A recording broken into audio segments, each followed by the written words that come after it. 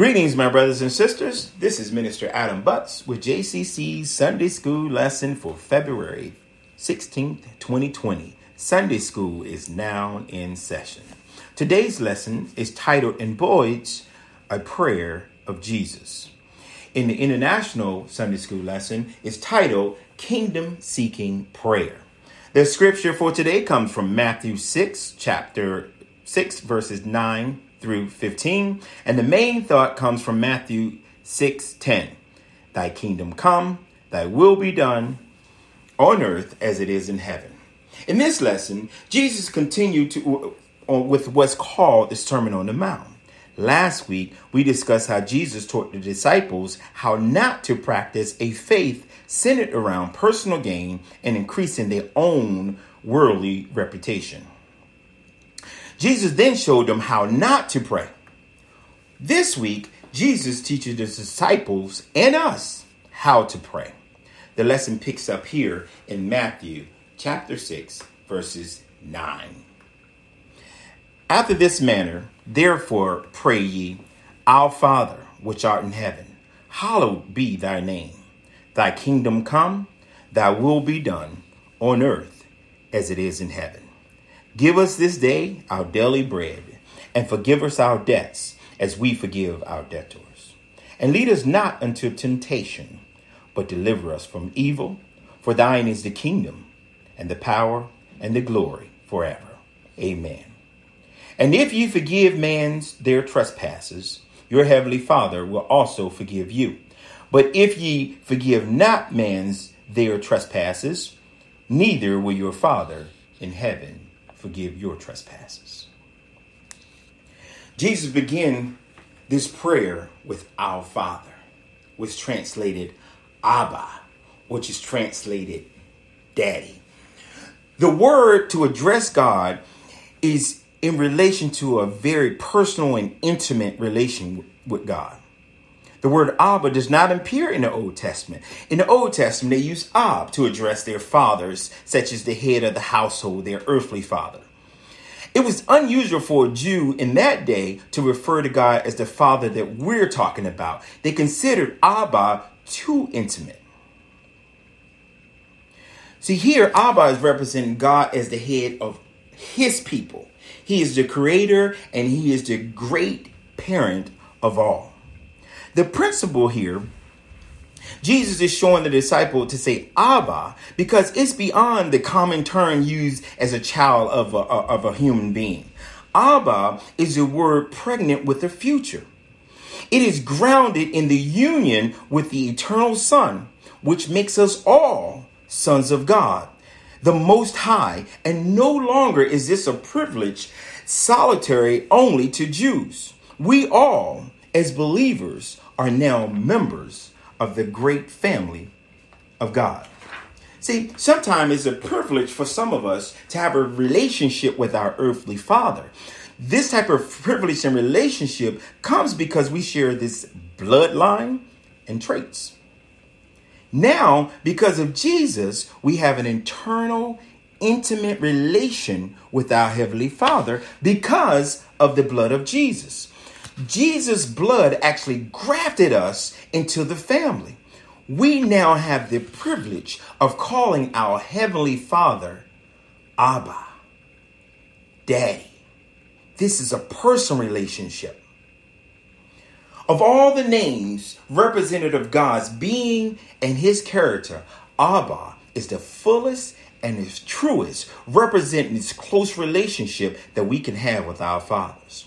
Jesus said that our prayers should be based on a personal relationship with our Father. Yet, one thing I find interesting here is throughout this prayer, what's commonly used is our and us. For example, he starts off by saying, Our Father, down a line that forgive us our debts as we forgive others. What we'll find here is there's a plural form of saying this. This means that even in our secret prayers, we're to recognize and be mindful of our brothers and sisters in Christ. We should make our requests just like their request to our Father who art in heaven. This prayer is very important because we can recognize that as brothers and sisters, you can imagine sitting at the helm of our earthly father. And when we sit from this earthly father, whom we turn to in a need when we're hungry and we can't get stuff for ourselves, we can turn and say, Daddy, would you feed us? Daddy, would you nourish us? We have to have that relationship with Father, uh, our Father being God, Abba, where we're all His children, so we can go to Him as our Father who art in heaven. That brings us to the next part of this verse, which says, Which art in heaven. Now, this doesn't confine God to the presence in heaven because he is omnipresent. He's everywhere at the same time. This is just one short description of his divine glory, his majesty, his dominion, and his omnipotence, which out in heaven distinguish him from our earthly fathers or false gods who are not in heaven. Heaven being this region of bliss and happiness, where God dwells happiness dwell. Where God dwells, peace dwell. Where God dwells, our troubles are no more. We can have heaven here on earth if God dwells in us. As we move on through this prayer, what we'll find that these first three petitions in this prayer, the first three things that are asked for God in these prayer, they're asking that God's name, his kingdom, and his will be put in this proper context. Starting with, hallowed be thy name. You know what? If we take that and we switch that around, I think we can get a better understanding. The petitioner here is asking, Thy name be made holy. When we look at this, what we'll find that the petitioner here, the person that's praying, is asking that God's name be kept holy. The worshiper has a desire that God's name is highly honored or exalted for who he is, for his attributes, and for his works. The petitioner asks that God's universal existence be believed by all. His perfection be revered and loved, his works be admired, and his omnipotence, his power, and his authority be acknowledged, and that his glory be manifested everywhere. See, let us cel- let us be celebrated when it comes to God's name. Let's celebrate his name. His name should be cherished uh, and, and esteemed as holy everywhere and received by all people in proper honor. It is the wish or the desire of the person that's praying this prayer that God name, and let's be honest, there's something about that name. It should be held everywhere in proper adoration. Hallowed be thy name. As we move down to verse 10, we get the other two petitions here about God. Thy kingdom come, thy will be done on earth as it is in heaven. It starts off with thy kingdom come. The word kingdom means that God reigns. May you reign over earth as we know you reign in heaven. But the word kingdom come, come means that God's heaven, uh, earthly kingdom has not been fully completed yet.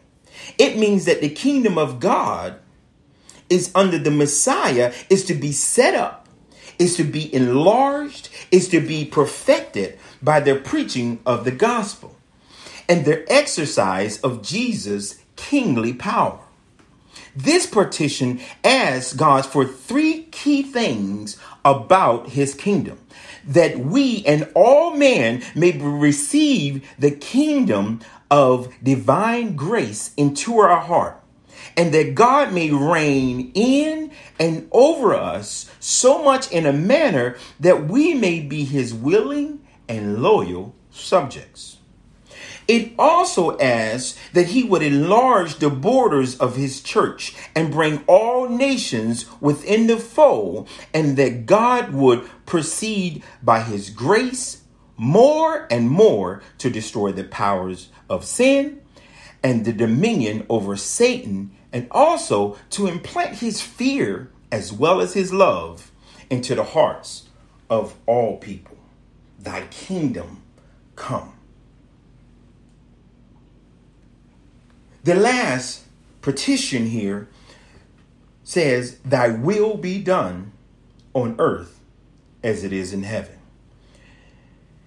This is that we're not to be resigned into the fate of the world. We, we don't have to just walk around as though whatever comes, comes. Whatever will be, will be. No, but by praying to God that his perfect will be accomplished in this world as well as the next. How do God accomplish this? Largely through the people who is willing to obey him. The will of God that people should obey is his law and to be holy. That's what God will. God's will is that we obey his law and that we be holy. The word will here has reference to his law and to what would be acceptable to him.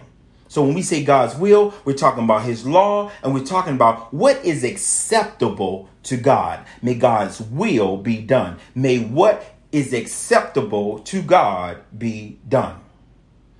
The prayer here is that his will may be done on earth as it is in heaven. That is, we pray that his law and his exposed will may be obeyed and loved. See, God law, God's law is perfectly obeyed in heaven. But we, his children, must eagerly desire and pray that it may also be obeyed here on earth. As a matter of fact, as we pray this prayer, we're offering ourselves to be the doers of God's will. We're asking Him to guide us. We're asking Him to lead us, and we're asking Him to, to uh, give us the means to fulfill his purpose. God is not our will, but may your will be done. Those are the three petitions here that this prayer starts out that God's names be exalted, that he reign both on heaven and on earth, and his will also be done here on earth as well as in heaven. God's desires and God's will is far more important than our will and our desire, and therefore we must consider these first. This is why this is the first part of the prayer. And once we acknowledge His will, once we acknowledge His desire, now we can inquire about our desires. And that brings us to verse 11.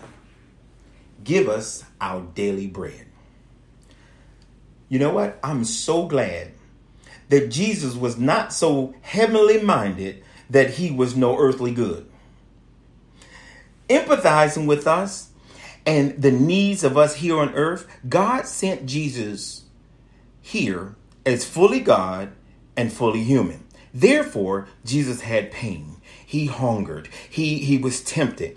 Jesus not understood our needs, but he also endured what we have to endure. Jesus showed us here that God is actually concerned with our basic needs as human along with our spiritual needs. We have this, this misconception that we provide our own daily needs. Picture this. Picture how vain we would look asking God for bigger cars, larger homes, more money, more land, and higher paying jobs as if what we currently have, we did it ourselves. So, God, I just need you to provide the extra. I just need you to put the icing on the cake, if you will. The truth is, we would not be able to breathe, nor have food, nor clothes, or shelter without God's provisioning. And I'm not talking about his provisioning for tomorrow, for tomorrow is not promised. We need his provision today. God, give us our daily bread, our daily manna. As the Israelites wandered around the wilderness due to their own disobedience, God provided them with manna each morning. He provided water even if it had to come from rocks when it was needed. God provided them with, uh, protected them day and night as a cloud and as fire. The provisions were provided to them daily to meet their daily needs. God provided for them. I'm so glad that God is still in the daily provisioning business. It would be out of pure pride for us to not recognize Him enough to ask Him for our daily bread. Matthew 6 34, Jesus says, Therefore, do not worry about tomorrow, for tomorrow will worry about itself. Each day has enough trouble of its own.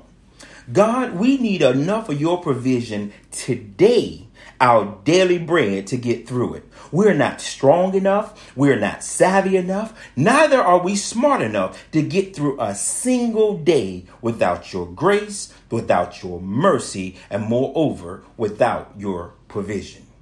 Give us our daily bread. And as we move down to verses 12, forgive us our debt as we forgive our debtors.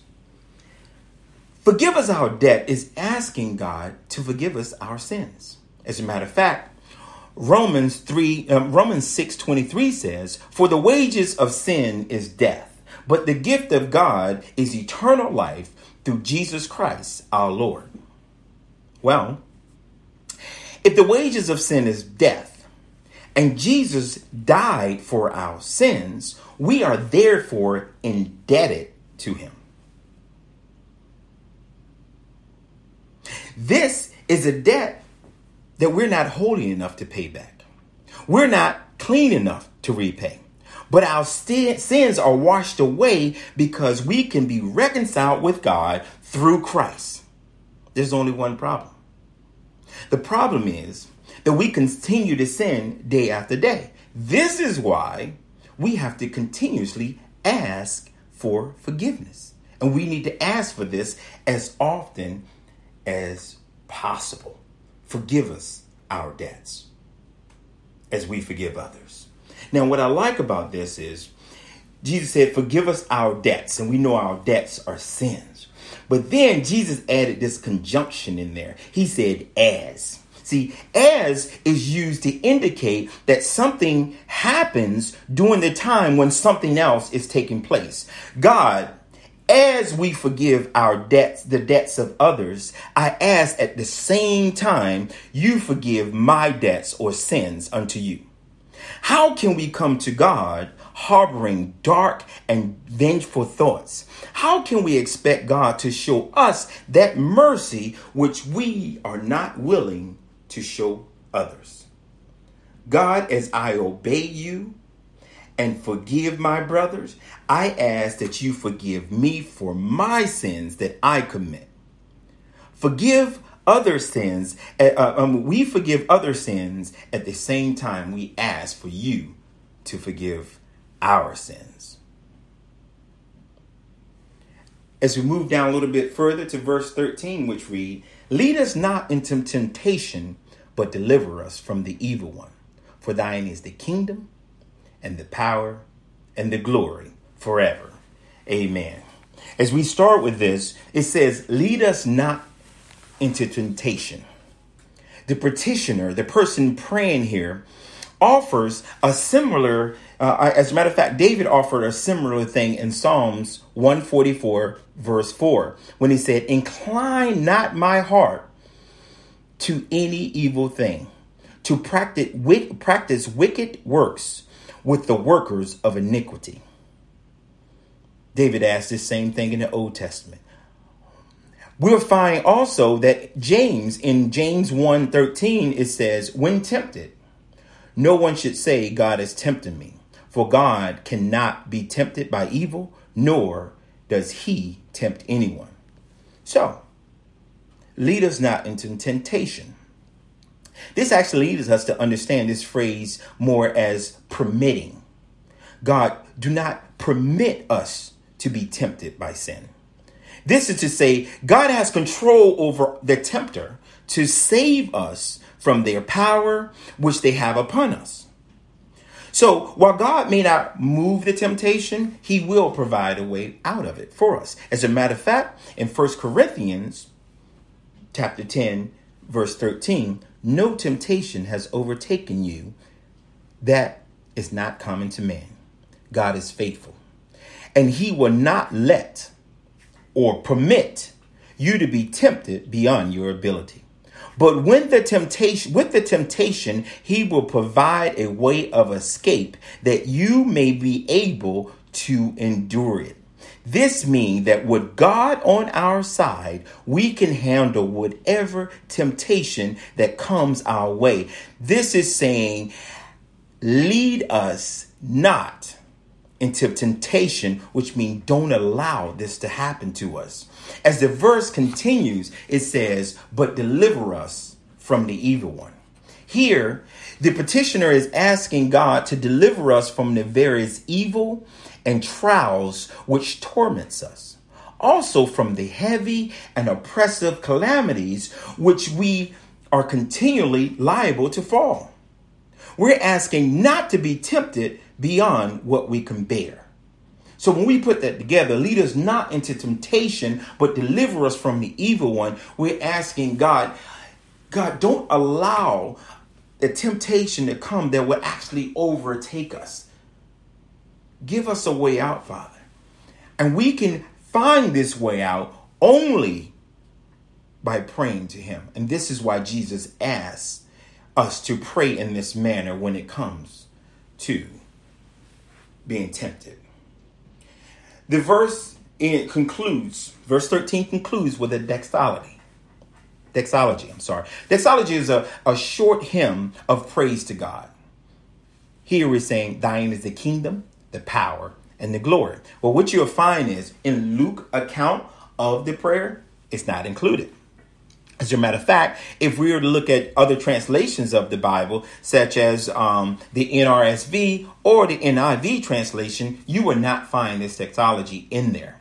However, one of the things that, uh, one of the reasons why it might have been added, that was very common um, for the Jews when they pray, they would add this to the end of their prayer. For thine is the kingdom and the power and the glory forever and ever. But let's break this down a little bit. For thine is the kingdom. That is, thy has the reign and dominion. God has control over all things and can order them to answer these petitions. Thine is the power. God has the power to accomplish what we ask. We are weak and we can't do it, but he is almighty, and all things are possible with him. Thy is the glory. That is, he is to be honored and praised, not for our honor, but that his glory, his goodness may be displayed in providing our wants his power exercised in defending us. In other words, as God light shows in us, as what God provides for us show up as we're the light of the earth, people should see that and see God in it. It's not our power, it's God's power. It's not our kingdom, it's God's kingdom. And the glory of God that shows up in us, he must get all the glory, all the honor, and all the praise. This actually concluded the prayer that Jesus, uh, the manner of prayer that Jesus told the disciples to pray. However, Jesus continued on to speak. So as we move down to verses 14 and 15, which reads, For if ye forgive man their trespasses, your heavenly Father will also forgive you. But if ye forgive not men their trespasses, neither will your heavenly Father forgive your trespasses. Let's start this off with Your Heavenly Father will also forgive you. This is consistent throughout the Bible. As a matter of fact, Jesus warns us, especially in the New Testament as he goes through, he warns us over and over and over again about the importance of forgiveness. If we refuse to forgive, God will not forgive us. But why? Why is there an if then clause when it comes to forgiveness? If we don't forgive, my brothers and sisters, then we are denying our common ground with our brother, which is the need for God's help. All of God's children, we all need the help of God. So we must forgive because we must be forgiven by our Father. Brothers and sisters, if you're like me, you consistently have to ask God for forgiveness. I fall every day. And because of that, uh, uh, because of the fact that Jesus died for my sins, it's actually easier for me now to recognize that I've sinned. And it's even easier for me now to ask for forgiveness. But what's hard and what is painful and what requires me to swallow my pride and what can have me up all night plotting revenge is forgiving others. Knowing that we have to uh, forgive to be forgiven is actually somewhat of a measuring stick when it comes to the growth that we allow Jesus to abide in us. The more we des- die to our own desires, the more Jesus can enter into our lives. If you're someone here on this that's struggling with forgiveness, I pray that God incline your heart to trust his provision and trust his purpose for you because I can assure you this.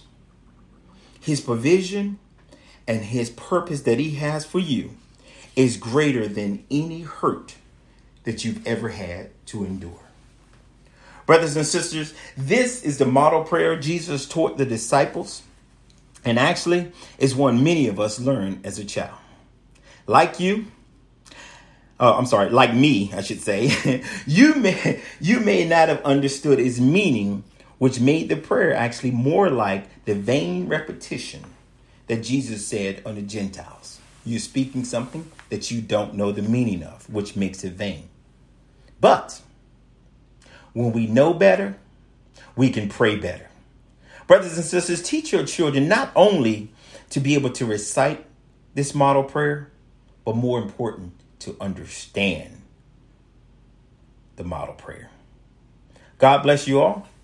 This is Minister Adam Butts with JCC's Sunday School lesson for February 16 of 2020. You guys have a great week and let the redeemed of the Lord say so. Amen.